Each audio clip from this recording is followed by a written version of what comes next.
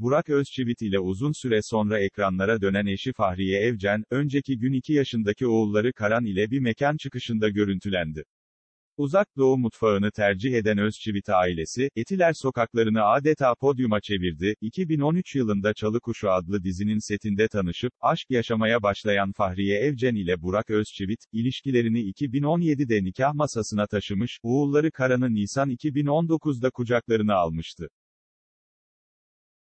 Karan'ı aralarına alıp Etiler sokaklarında gezen ikili, çevredekilerin ilgi odağı oldu.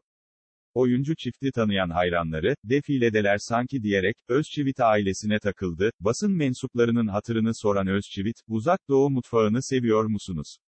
Sorusuna, evet, çok seviyoruz yanıtını verdi. Havalar çok soğudu diyen Evcen, sizler de dikkat edin, kolay gelsin, dedi. Çekimleri devam eden dönem dizilerinde rol alan ikiliden Özçivit, soğuk ve yağmur yağıyor, zorlanmıyor musunuz?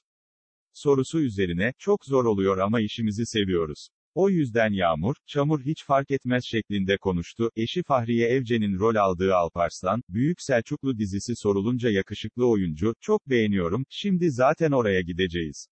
Pazartesi ve çarşamba dizi günlerimiz oldu, beraber izliyoruz ifadelerini kullandı. Yılbaşında herhangi bir tatil planları olup olmadığı sorulan ünlü çiftten Fahriye Evcen, çalışıyoruz, buradayız, hiçbir plan yok açıklamasını yaptı. Öte yandan annesi ve babasının elini tutarak yürüyüş yapan 2 yaşındaki Karan Özçivit'in, neşesinin bir hayli yerinde olduğu gözlendi. Özçivit ailesi, geçtiğimiz günlerde akşam yemeğine çıkmıştı. Mikrofonları elinden bırakmayan minik Karan'a, muhabirler anneni mi daha çok seviyorsun, babanı mı?